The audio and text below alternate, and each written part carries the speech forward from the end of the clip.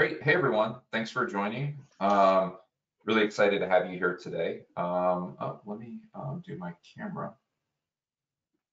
Uh, I don't know if that will add to the experience or detract from it, but we're going to do it anyway. We'll do it. Um, awesome. Um, if this is your first time joining us, uh, welcome. Um, if this is um, not your first time, welcome back. Uh, my name is Michael Ferranti. I head product marketing here at Portworx, um, have been at Portworx by Pure Storage, um, and have been with Portworx for um, just about four years now.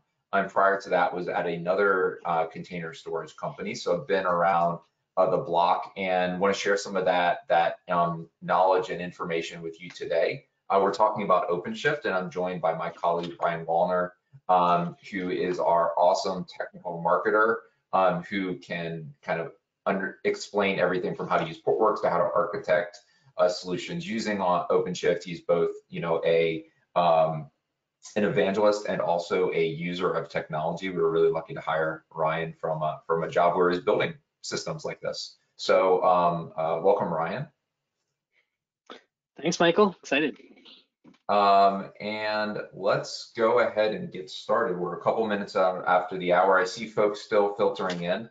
Um, but you know, these are always recorded. So um, you know, if you join late or just joining now, um, you can always go back and listen to the recording. So um, so let's dive in because we actually have a lot to talk about. Um, you know, uh, it's it's like you know, as parents, which of your children is your favorite? Well, you know, I'm never going to tell you which one is my favorite, but right, we all we all have favorites. No, we don't.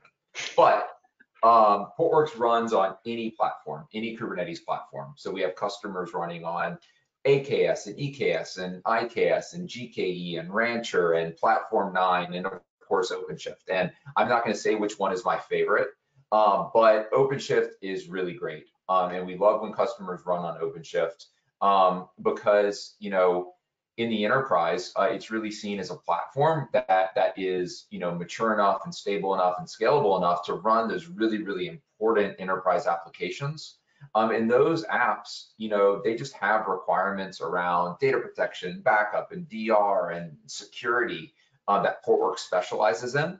So when we see a customer that's running on OpenShift, we just, you know, we, we think that that's an awesome opportunity um, to help that customer um, accelerate their app modernization, bring more workloads into, into containers, leverage more automation, um, and really make the best use of the Portworx platform as, as a way to accelerate that process. So that's what we're going to talk about today. We're going to talk all about um, how Portworx fits into your OpenShift environment.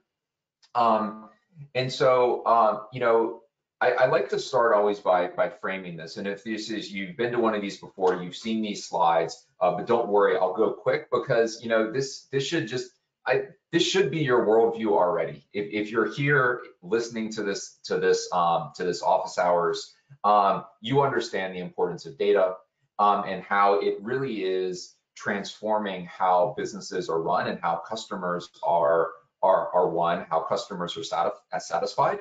Um, now, then the question isn't, you know, is data important? Of course it is. The question is, well, how do we actually build platforms that enable us to process that data into value and insight. And increasingly, um, people are recognizing that that application platforms um, like OpenShift or Kubernetes more broadly with containers, when combined with agile uh, DevOps practices, um, uh, new processes like CI/CD, can radically accelerate how quickly um, we can build and run applications and the scales at which we can build and run those applications. Um, so that's that. That's why we're here today talking about OpenShift because you know most new applications are being developed in containers, um, and because we're not running them in any single environment anymore, um, we need a a platform that can run across environments like OpenShift. Um, but and there's all there's always a catch. There's always a gotcha. Um, as great as solutions like OpenShift and containers are, um, they don't address the storage and data management requirements that enterprises have, at least not in a way that is truly automatable, truly scalable, truly turnkey, right? You know, given enough time and resources, you can cobble together anything with anything. right? It's not whether or not we can build kind of a, um, a proof of concept that solves these problems. The question is whether or not when push comes to shove in a true production environment where we're scaling rapidly, right? We have customers, and you may have experienced this yourself, who in one week um, in March of 2020 scaled as much as they scaled the entire previous year, right? That that's an that is a, a generational scaling event, and the only way that that's possible when you're talking about stateful applications is using technologies, yes, like uh, like containers and container orchestration, but also systems like Portworx that address those um, critical requirements around DR, uh, backup, uh, recovery, data security, high availability, etc. Oops, wrong direction. So that's what we do. Um, and we do it for customers that are running on OpenShift um, in any number of environments, public cloud, private cloud, um, using lots of different um, infrastructure in those environments, some bare metal, um, some, you know, some VMware, some you know, pure storage, some, some NetApp, some Dell EMC. We're completely agnostic to the underlying storage la layer. Um, and the fact that we can provide and solve these enterprise requirements for truly mission critical applications running in an automated manner on Kubernetes environments uh, is why Portworx um, has been named the leader in Kubernetes storage and Kubernetes data protection uh, by GigaOm um, in two different reports. That they did the most comprehensive view um, study of this market um, and hopefully you'll understand why Portworx was named the leader um, as we go through the rest of the presentation. And then Ryan um, uh, takes takes Portworx for a spin on OpenShift. Um, you know, some of the customers that we support um, are, you know, really some of the largest and most sophisticated users of containers generally in the world. Um, and, you know, the reason I bring this up is because, you know, your use cases are, are, are really important. They're high scale what we've seen other customers that have similar use cases, similar levels of scale, and between Portworx and our partners, we can provide a comprehensive solution for that. Um, and that and that absolutely um, is the case on OpenShift. We are we are certified on OpenShift. We're available in um, the in the operator hub and the container catalog. If you're, you're if you're buying OpenShift through IBM, you can um, you can acquire Portworx through the IBM catalog. I mean, there are OpenShift offerings we're a really native solution um, in addition to providing all the features and functionality that you're looking for. Um, so what is Portworx? Well, Portworx is a platform that allows you to run any stateful application on OpenShift or any other um, uh, Kubernetes distribution uh, in any cloud on any infrastructure, right? That's both you know bare metal or virtualized, as well as any storage infrastructure, right? We love it when our customers run on pure storage, but hey, if you want to run us on um, uh, on HPE, if you want to run us on Dell or IBM, if you want to run us on NetApp, then we can create the best container experience for you on those storage systems as well. Uh, and we do that across all the stages of the application lifecycle. Um, you know, the, the core of our platform um, are uh, six modules that, that do what they sound like, right? PX Store is our container granular storage um, engine, and, and, Ryan is going to show some demos of this and how we do things like, um, you know, uh, uh, snapshots of container volumes, restores, things like that. Uh, we also do high availability, and all of this is truly at enterprise scale, right? You know, we have customers that are running hundreds of thousands of volumes.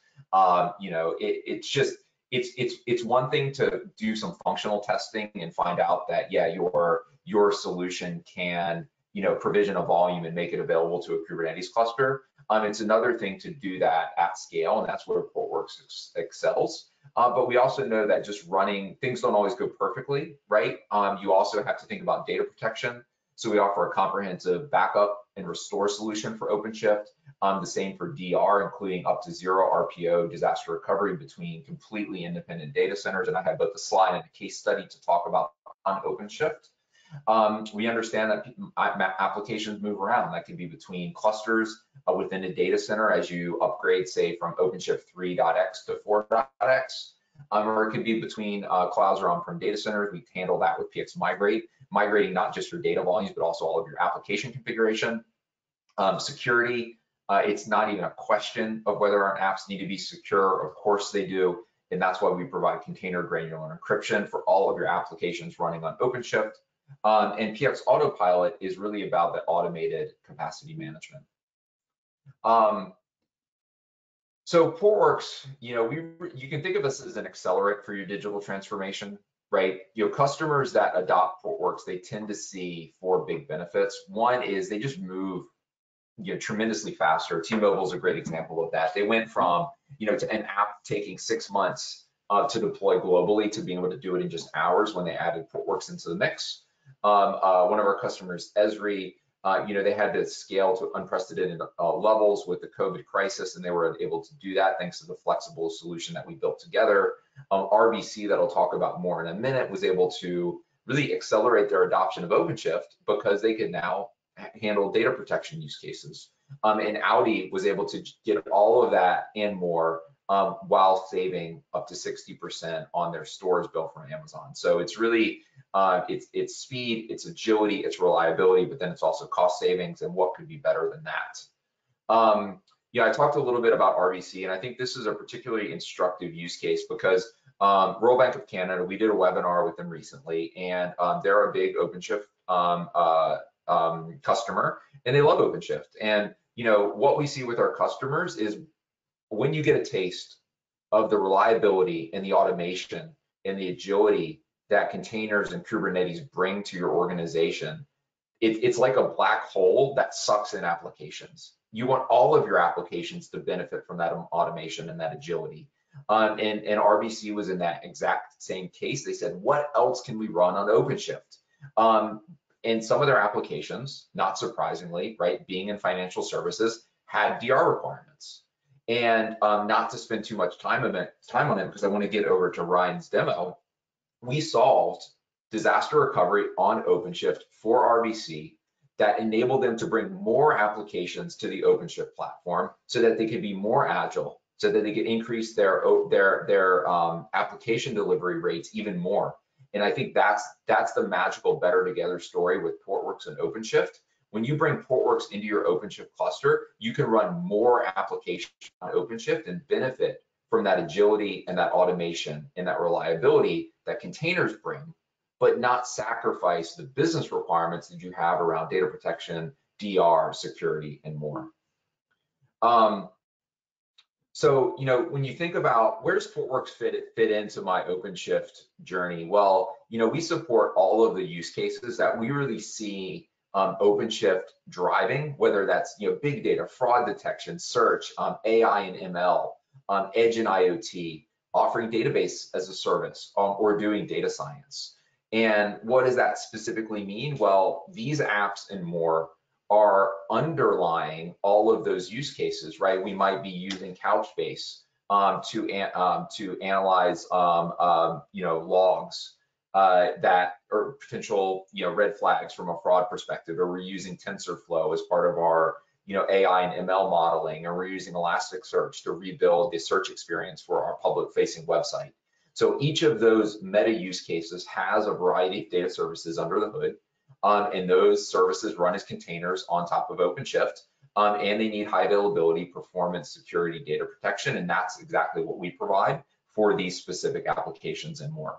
Um, you know, and I mentioned this before, but I really want to underline, you know, think about OpenShift as a black hole for applications in a good way, right? In a good way. Understand what I mean by that.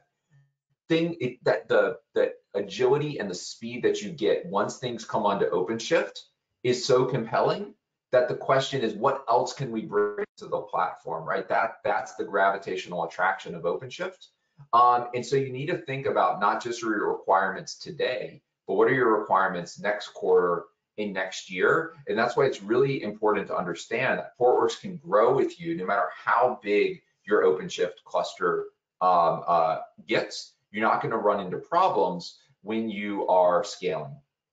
Um, so a couple of quick features. Um, PX Migrate um, is how you can move applications um, between OpenShift clusters um, in an on-premise environment, right? This is a, give you the example of upgrading from 3.x to 4.x.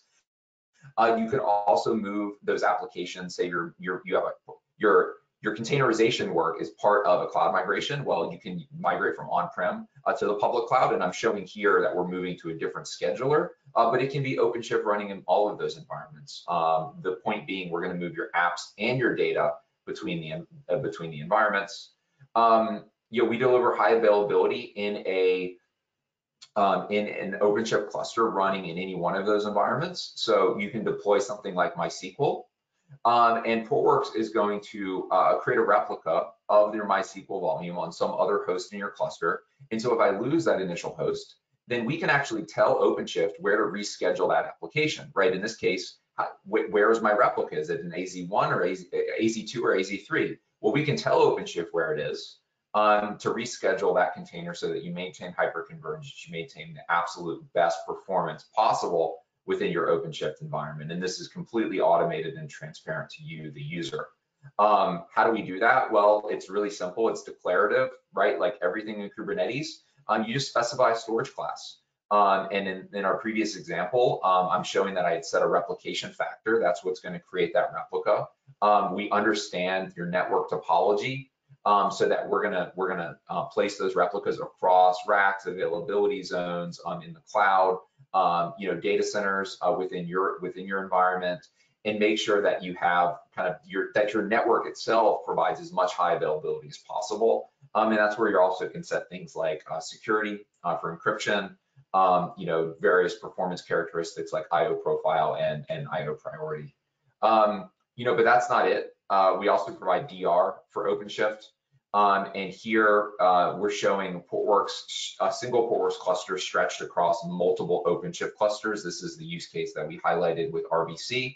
Um, it's just so easy to get DR in this way. If you remember back, you know, these business continuity projects in the enterprise are both like you know, soul draining, expensive, and then when you get it all done, they usually fail when it, when it comes time to actually do a recovery uh, because they are so complex. Uh, containers take a lot of that guesswork out of you know large scale business continuity uh, because you know we're shipping our dependencies along with the container, but the data still needs to be in the secondary environment and the application configuration needs to be there as well so that we can spin up our, our new application easily. And delivers that with a customized, or really a turnkey solution for your OpenShift environment. And it's just, it, look at this. I mean, it enables you to run so many more applications on top of OpenShift.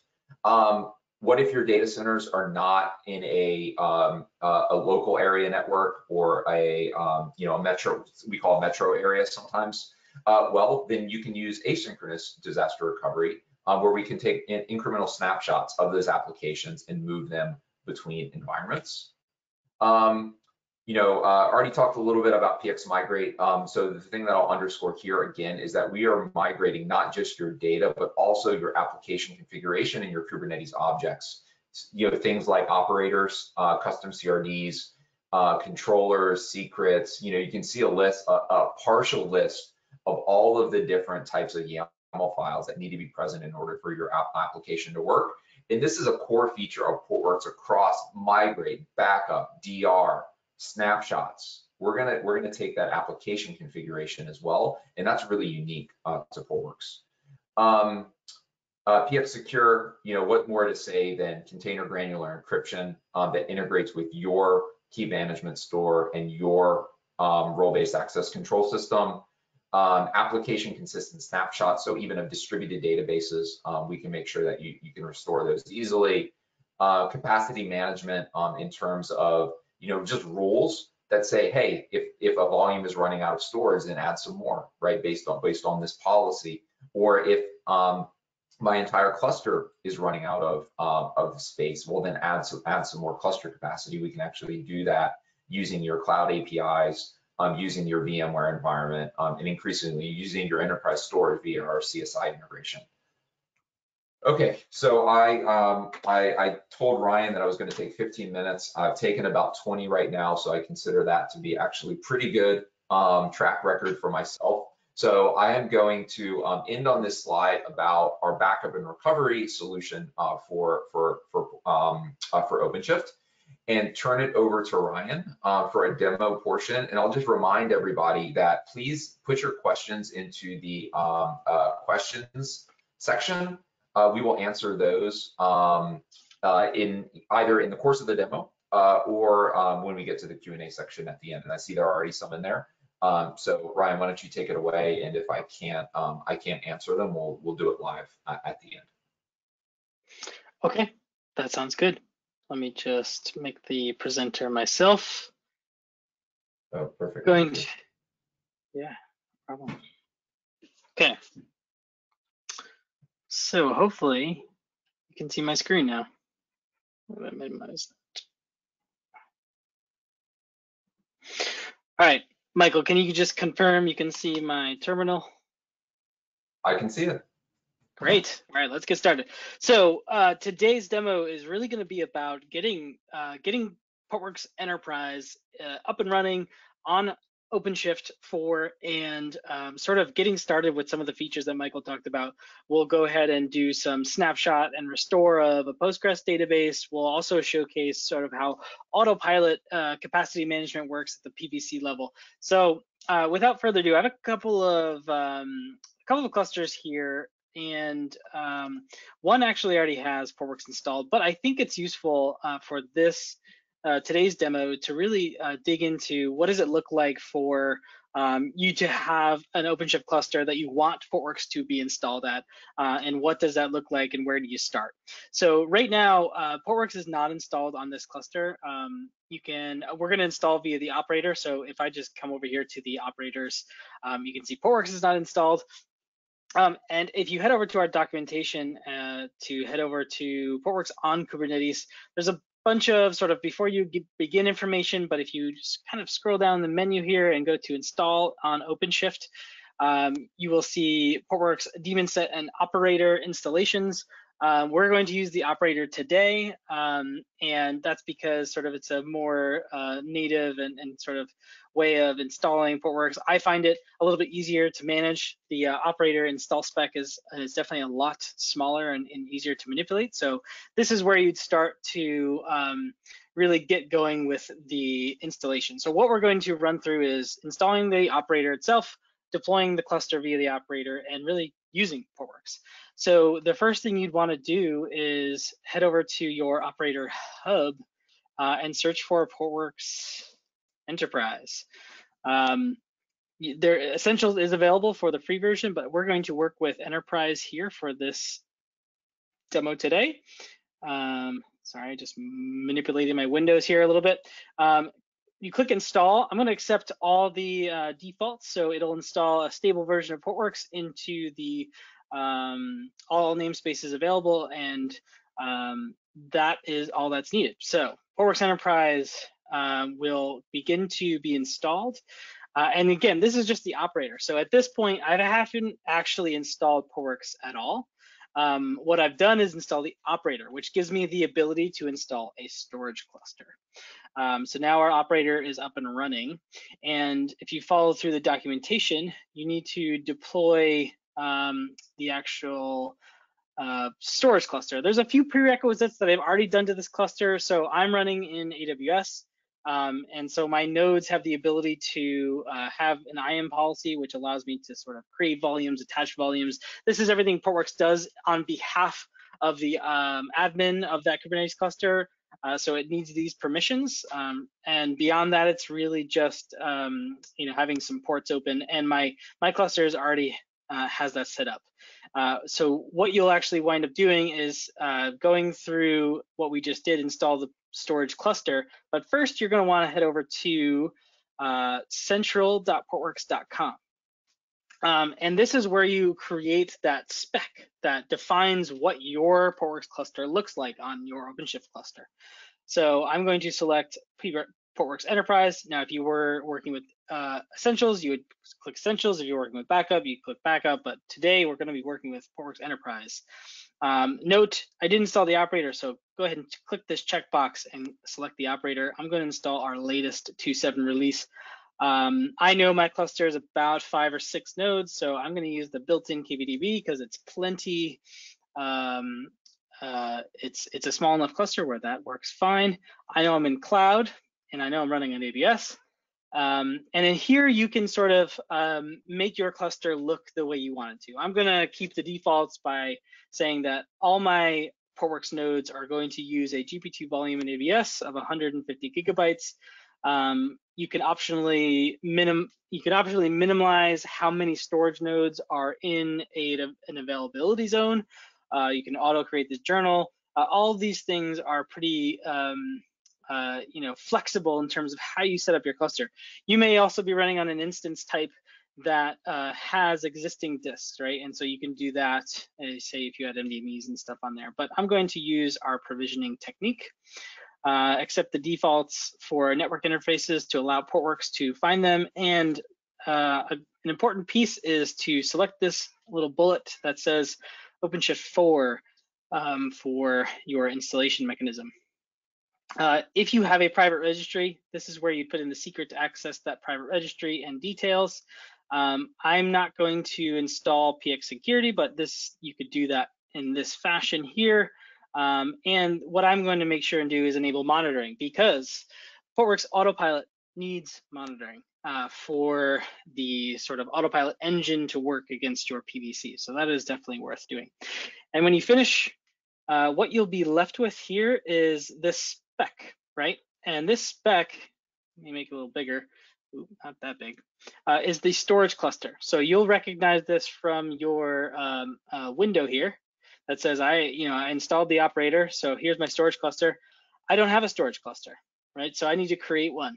I'm going to click create.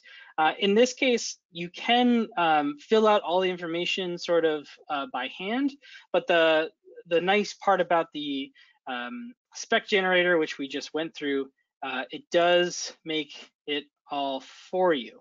So all you have to do is copy this whole link here, I mean this whole text, and we're gonna come back over here to our YAML file, and I'm just gonna replace everything in here. So what this is really saying uh, is I'm creating a storage cluster. Uh, here's my Portworx version, and I'm using this GP2 type 150. I'm installing Prometheus and metrics, um, and my secrets provider is Kubernetes itself, so it's using the Kubernetes secrets. Um, and when you're ready, you click create. Um, now, if you're in a different namespace like I just did, you might think, well, I just created it and I don't see it. Well, just make sure you're into the kube system namespace because by default, that's where Portworx uh, will choose to run. So in this case, I see that my storage cluster is now in the initializing state. Uh, and that is uh, where Portworx comes up. So if you're if you want to get a sense of what's going on, um, you can do it within the OpenShift dashboard itself, which if you prefer, then that works great. So you can head over to pods and see what's going on.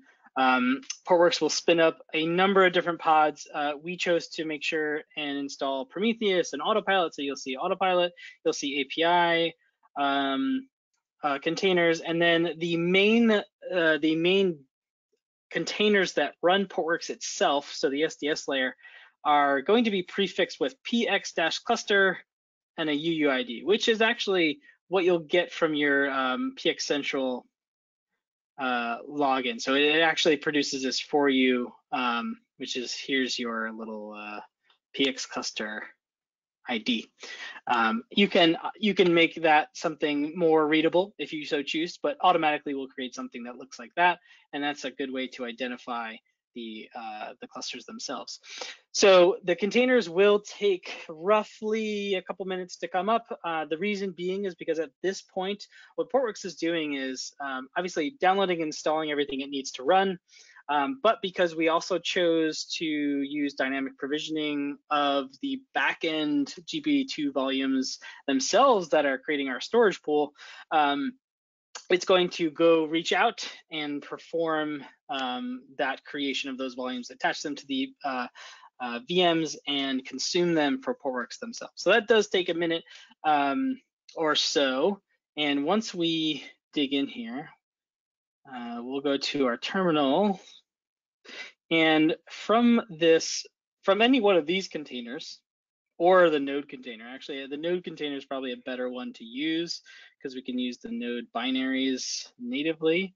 I prefer to do it that way. Um, so if you're used to using something called pxctl, which is our C, um, our sort of uh, CLI tool, you can head over to any one of your worker nodes that you've deployed Portworx to, come in here to the terminal um, and uh, let's see, go to root to use the binaries, and then we should have PXE status available to us. And look at that.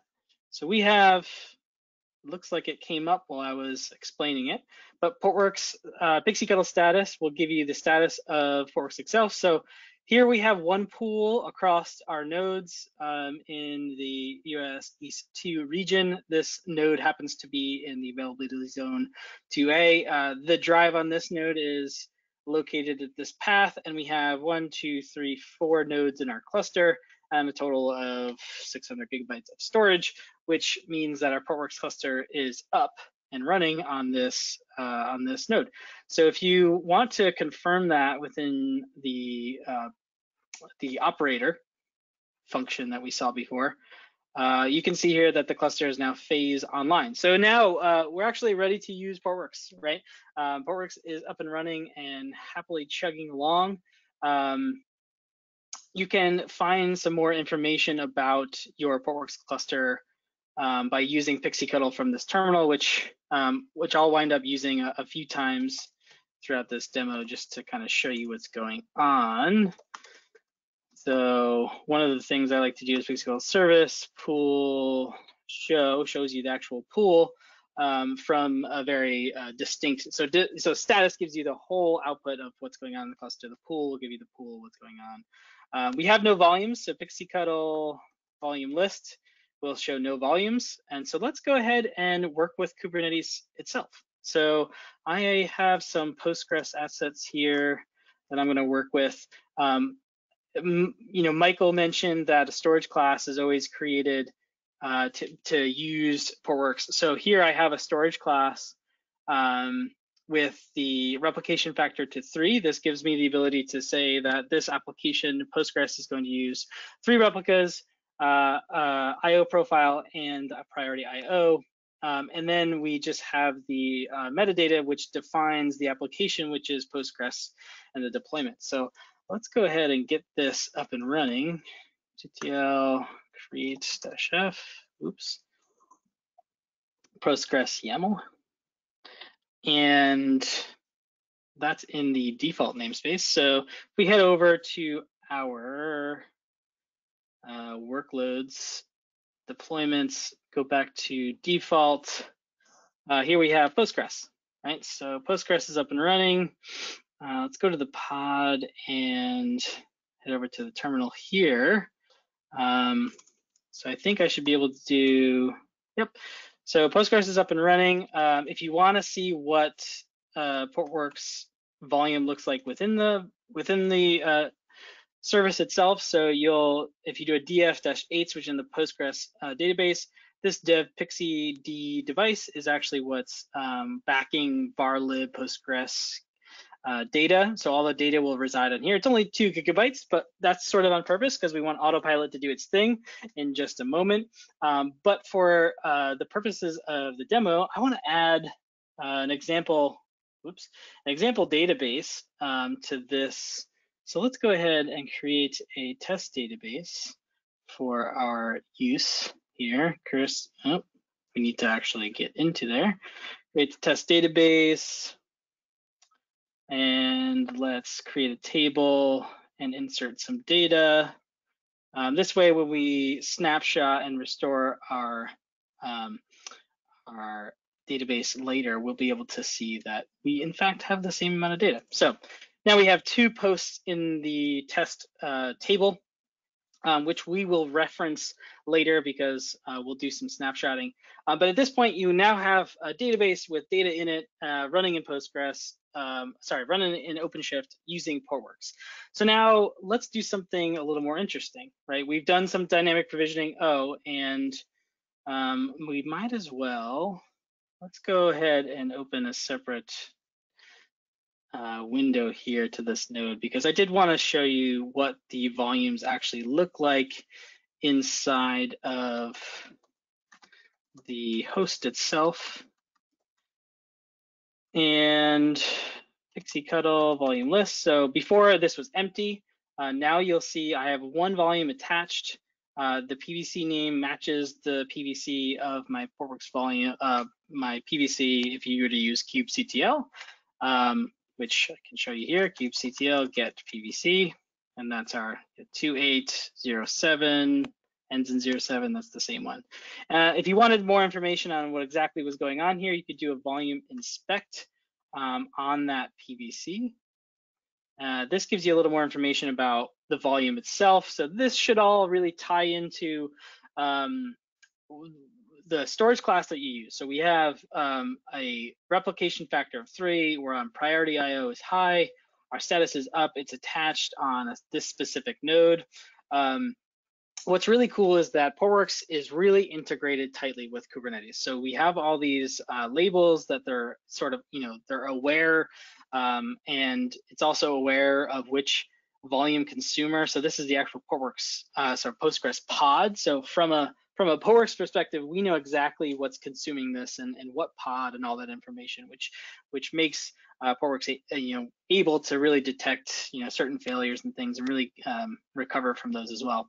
We have three replicas that actually will tell you which node those replicas are on, so you know that these three nodes are holding my replicas. Portworx will automatically try to uh, distribute those replicas, um, especially on AWS. It'll it'll use availability zone um, labels, and so it'll put a replica uh, across availability zones to make sure that you know um, your application is protected from a AZ failure at the AWS level as well. So there's a lot of good information that you can find out here. Um, so yeah, no, I was a little distracted. So um, let's dive into autopilot. Um, so here we have an autopilot rule. And I'm going to show you that what that looks like. So an autopilot rule is a, a specific kind to uh, what Portworx provides in Kubernetes. And so um, this actually is saying that I want to match my Postgres application by label. So app equals Postgres. Um, my application happens to have that label um, it needs to have that label. Um, you can match it uh, from you know other labels as well. Um, and then it will express, in this case, I want to make sure anytime my volume is over 30% used. Now, in reality, in production, you probably want more than 30%. Um, but in this case, I wanna make sure that when it hits that 30% threshold, that my action is to resize my PVC. And I wanna scale it by 100% uh, with a maximum size of 30. So it puts an upper bound on it. Um, so let's kind of see what this does in action, right? So the first thing we want to do is create, sorry, the autopilot rule itself. This will go ahead and create the rule. Um, what you can do now is kubectl describe, well, you can get autopilot rule and there's our autopilot rule. We can describe our autopilot rule, uh, Postgres resize, the P. Um, and what you'll notice here is that our initialization, let me just bring this up the screen a bit, the rule initializes to normal, which basically says that we're, we're within bound, we're within our 30% boundary, and so our rule is considered normal and nothing's gonna happen.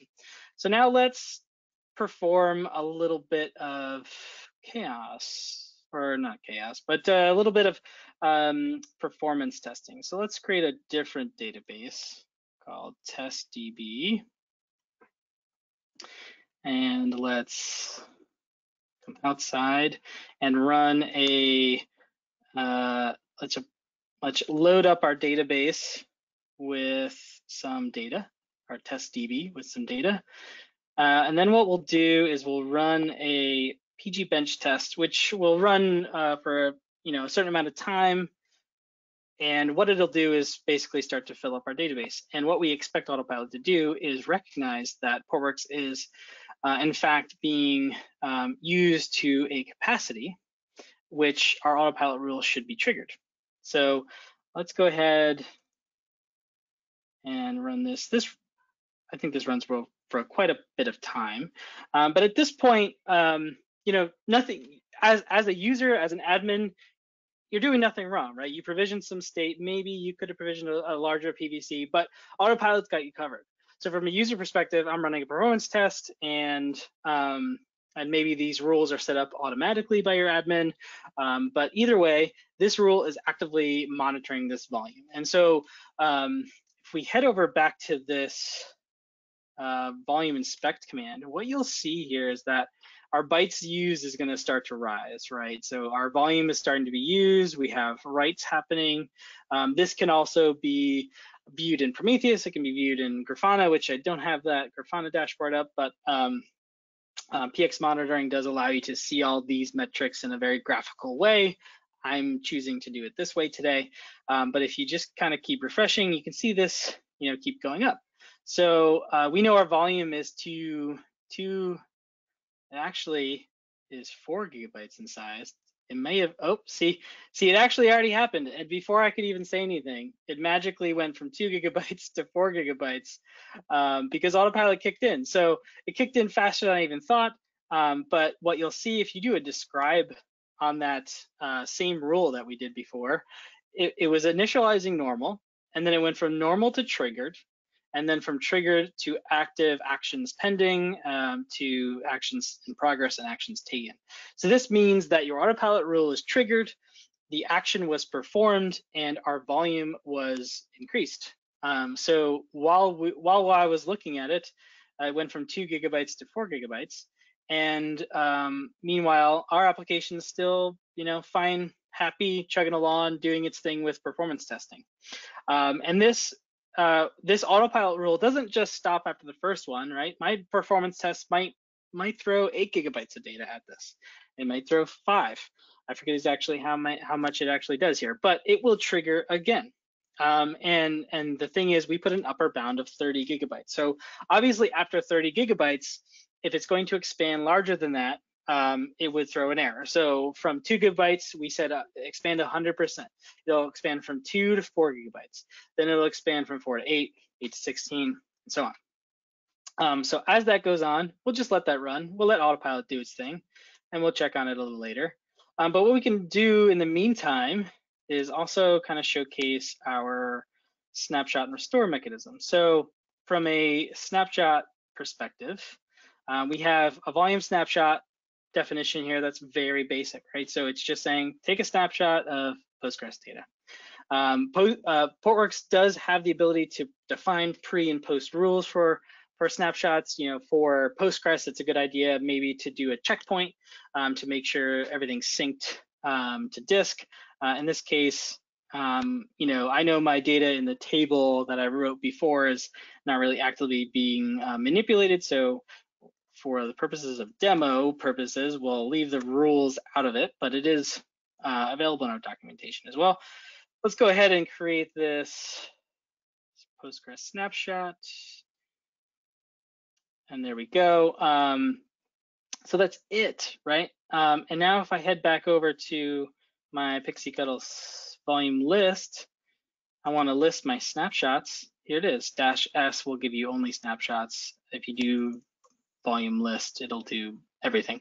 Um, but you'll see one here, snapshot dash, and it's detached because it's a, it's a instant snapshot of my volume um, um, at the time. And so it's available to be deployed again. So now how hard is it to restore that volume? So PX backup works in a very similar way, obviously just moving you know, data and, and application configuration off, off of the cluster. But from within a cluster, you may want to restore right back for some testing for testing purposes. So um, what we've done here is kind of proactively come up with this um, uh, other YAML file, which is defining a persistent volume claim, which actually references our snapshot with uh, this little annotation here saying use this snapshot for my PVC uh, and it and it needs to use the stork-snapshot SC storage class because this storage class will actually do the cloning and and and and things like that. Um, and again, we define a, a, deployment with a slightly different name, but what we're doing is making a clone and restoring it to the application in one simple command here, create Postgres restore. And now what we have is a kubectl get pods. We should have, um, well, that's internal debugging, but we have a snap going on here, which is creating. Um, and in the UI, we should be able to head over to my pods or deployments for that matter. We have Postgres snap here. And we have a pod, pod is running, terminal, just like we did before, PSQL, select star from what we have test. No, it was posts. And there's our two posts. So this is a completely different container with uh, using a clone of a post uh, Portworx volume, um, which was taken from our original volume. Um, and so that is uh, how easy it is to kind of manipulate and take a snapshot and clone of a volume uh, within a cluster and restore it. I restore it to the same namespace, but you can absolutely restore, restore it to a different namespace. Um, and using things like migrations or DR, um, which we showed a little bit of last week, you can do that across clusters in a very similar fashion, move all that uh, you know, deployment configuration as well as the volume clone over to an entirely different cluster or cloud or across OpenShift versions. You know, if you're testing 457 from 456, we, um, you know, we can do that as well. Um, let's just see what happened over here. Is anything, look at that, our, our volume expanded once again. So um, we, let's do a little describe on our autopilot rule. Uh, we can see these actions pending taken are now two times over the last six minutes because our um, uh, our volume is still expanding. So pxctl, oops, kubectl get PVC. We now see that the original volume is two gigabytes in size. Um, and that kind of that autopilot rule will, like I said, will will continue to work. And I'm completely hands off. I'm not resizing things um, within the container itself if we head back over to our original pod, where's our original pod? Oh, we uh, deployment Postgres pod here. Go back here and just do a df-h. Um, you know, it's it's expanded in the file system as well. I didn't have to, you know, expand the file system within there. It all happens automatically. Um, we have 10 minutes and I want to make sure, so I, I, showed snapshot and restore within the cluster, I showed autopilot, um, I showed the install of Portworx itself through PX Central. Um, I want to make sure we get to some questions. I just haven't looked yet, so let's take a look. Yeah, well, the audience, been, the audience has been super active on the questions front. Um, I've been awesome. replying to them. So, um, so I, well, we here's one that we can do live. Um, so does Portworx for OpenShift? Um, okay, how I think how how does um, um, HA work with Portworx on OpenShift? If yeah. Portworx goes down, um, how how would that work? So yeah. so area where yeah, I'll, like, I'll talk through it. I, will talk through it, and since we got a live demo here, I'm I'm more than happy to to to to blow things up for you too.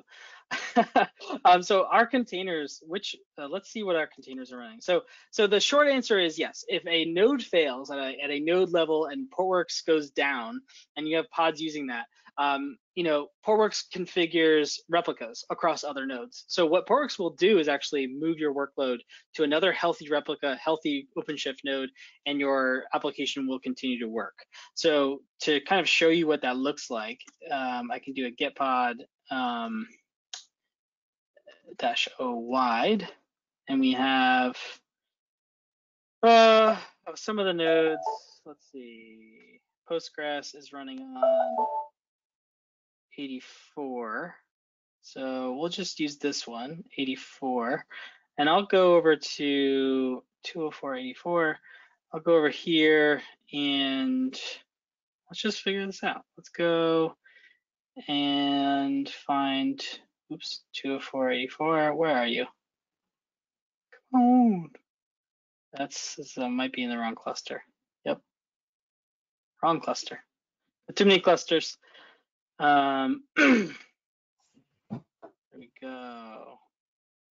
204.84. So let's just uh, stop this instance. You know what? I'll just terminate it. Show you the worst that happens. We'll just go ahead and blow it up.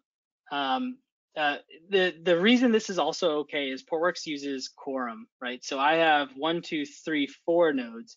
If I only had three, then Portworx needs at least three for quorum. So um, uh, you know, blowing away a third node actually creates a situation where you have to restore quorum. Um, but if you have a lot, you know, you can you can do something like this to kind of show you what's going on. Um, so what will actually happen for this is probably easier to see in the UI in fact. Um, here's our Postgres pod. So here, there's, you know, um, it's now at zero, scaling to one, and it's already back up. Right, so that happened pretty quick. I think what we can see is that if I go over here, oh wait, is on the same node? Is it a different node? Um, let's see.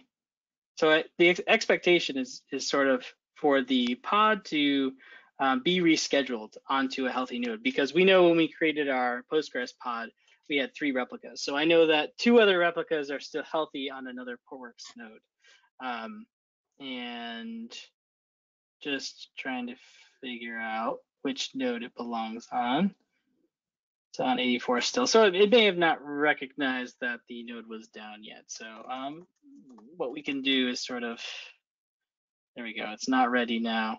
So there's there's some timeouts that need to happen. Um, but Stork, which is sort of something uh, that that Portworx brings to the table, will recognize this kind of state and reschedule your your Portworx pod um, automatically as you get things going. So unless I didn't destroy that. But while that's happening, I'll, I'll wait for that pod to come back online, um, or to be moved, I should say. And we'll answer another question. So let's see. The next question was, is this the recommendation? Michael, I that's a follow up to another question. Maybe I don't um, I don't know the context of that one. Uh, for the HA one? No, so there's another new question in the Q and A. It says, "Is this the recommendation?" Oh, really? Okay, uh, I, don't, maybe, I, don't, I don't see that. Maybe whoever asked that out. question can. it just says, "Is the is this the recommendation?" So um, maybe you can add a little context. Oh yeah, that was sorry. I answered that one. Yeah, that was uh, okay, that was perfect. a question about. Um, and uh, just to so everybody else is probably curious now. Um, the question was, do, Port, do Portworx backups live on the same cluster? Um, and I said they can, uh, but they don't have to. And in fact, most customers, they wouldn't for obvious reasons, right? If you lose your entire cluster, you don't also want to lose your backup. Um, so the word backup is not a technical term, right? It's a, it's a term that we use to describe how do we protect our data. And with Portworx, there are a number of ways um, that you can do backups, right? You can just take a snapshot and you can store that in the cluster in some other cluster, but just your data volumes. Um, when you use PX backup, which is our product, there you're going to be capturing all of your data volumes as well as your application configuration. And that's going to be stored in any S3 compatible object store. So this would be an example of where we're storing off the cluster um, and not on a secondary cluster, it's just in an object store, right? So really low cost um, uh, storage. And if you lose your entire cluster, well, you can bring your cluster back using, you know, using Kubernetes or Terraform or CloudFormation or whatever it is you use to bootstrap your Kubernetes environment. And then Portworx can restore your applications from that, that backup that's sitting on, on S3. Um, and again, that's going to be all your data as well as your application configuration. So restore is really quick. Um, we also do DR where we're going to synchronously replicate data between environments. So you would have a secondary uh, OpenShift cluster that's live and running um, in case you lose your initial your your first data center and then you can fail over very quickly. That's RPO uh, zero disaster recovery. We can also do asynchronous disaster recovery over a wide area network. Um, so the is that the recommendation? Uh, what I said to that is Well, it kind of just depends on your use case and your business requirements. And what's really nice is that it's on an app by app basis. So a lot of storage solutions will configure policies like that at the storage pool layer, which means that any anything that's consuming that storage pool is going to have the same policies associated with it. But like that's not how Kubernetes works, right? You any app with any number of requirements could be running in the same cluster. And so you want to be able to apply backup security, um, migration policies on an app by app basis, and that's what Portworx delivers. Yep. So thank you, Michael. So in the background, um, what happened was my my pod was failed over to a healthy node. Um, my data is still there. So this is me running uh, the select command in the new recovered pod. Uh, in the details, I showed that it's now on uh, 191.144. It was on 204.84 before. Um, and um, Portworx automatically rescheduled that to a healthy node. Uh, and what you'll actually see, oh, or can, um, what you'll actually see from a Portworx perspective, if I head back over to the terminal here, loading, loading, is that one node of your Portworx cluster will um, report that it's down, and that's because I um, I just terminated it. Um, so pxctl also not recommended to just terminate a, a node. Um, but at this point, you would decommission this node uh, because it's completely gone. Um, but the the good thing is is that that P, that volume that we were working with, our Postgres volume, uh, which is this guy here, uh, pxctl volume inspect. This one, um, it's it's in a degraded state at this point. So to your point, what happens? Um, this replica here is now in a. Uh, it's basically saying I can't access this replica. And so after a certain amount of time, Portworx will say, uh, okay, this replica is officially gone, right? There's basically a timeout, and it'll and it'll sync it to a healthy node. Um, but it will try to wait originally in case that node's rebooting or you put it in maintenance mode or something like that where the replica may be down. Um, but in this point, it's sort of in that in that um, um it's in that mechanism of waiting. Um, and, but there's two other full healthy replicas which our pod is using um, and the data is available on, which uh, was that select command before. So in that case, that's how AJ works uh, from a node level, Portworx level, uh, your from your application perspective, it'll just restart and come back up. Your data will remain. Um, and better, you know, it's better if your application itself, so Postgres or, or MySQL or Mongo is, you know, distributed. So it may have more than one node so that it's not, you know, a single pod that has to be restarted. It depends on sort of your needs and things like that. But that's what it looks like in, in that uh, failure scenario. One minute left, so we got a few more questions. Uh, a few more questions. Can you show Portworx for container roadmap in session? Uh, we do not have time for. Okay. I was replying to that one. It's it's too much to do in the last minute. So um, yeah. Uh, why don't you reach out to us? Just follow up. Um, just go to our website and there's a form at the top. I think it says contact us or at the bottom. Um, and just reach out to us and we're happy to share with you what's on the roadmap and how it can apply specifically to your environment. Yeah. Uh, for all the people that are looking for the uh, recording, yep, it'll be available. Um, and I think all the other questions have been answered. I saw one more, which is the demo showed snapshot and restore, and this was done on EBS. It's actually snapshot and restore is done at the Portworx volume level. Uh, EBS happens to be used under it, but um, Portworx can use any underlying storage, so it's direct attached storage or uh, SAN, that kind of thing. Um, the question is, can the same be done for block to object and back to block storage? Um, so right now, Portworx doesn't um, doesn't support using object underneath, but we can absolutely snapshot to an object storage. So that's called Cloud Snap. I didn't show it today, but you can use an object storage to Cloud Snap to an object storage um, offsite and then restore basically just with the same workflow that I showed, but using that Cloud Snap instead of a local snapshot. So that will offload the storage space. Hopefully that answers your question. Yes, there is a public Slack um, or Discord. So um, I know we're a little over time, but I'm going to try slack.port Portworx.com. Slack.portworx.com. You can you can go there and uh, Yep. talk to us on the public Slack. Great. Well, thanks everybody for your time. This was awesome, Ryan. Great demo um, and very active audience. Thank you so much for asking questions. That makes it a lot more entertaining. Um, and you know, some of them were I had to think a little bit. How would we do that? Um, and that's I think the the thing which isn't captured in a webinar like this is that there are so many options. You know, when you say how do you do backup? Well, like how do you want us to do backup? Because your application, your network topology, what you're running um, are all different. And so I think this webinar is a great first step, but I would highly encourage you, if you have follow-up questions, right, don't wait for the next monthly demo to ask them. Uh, just con put it put in a contact us form. Like within hours, you're gonna have someone who's returning your phone call, trying to learn more about what you're doing, and so we can schedule a call with you so we can truly dive into your apps and your environment and help you figure out how to um, uh, how to get the most out of OpenShift. So thank you so much. Uh, until next time, uh, have a great day and thanks Ryan and um, talk to you next time. See ya.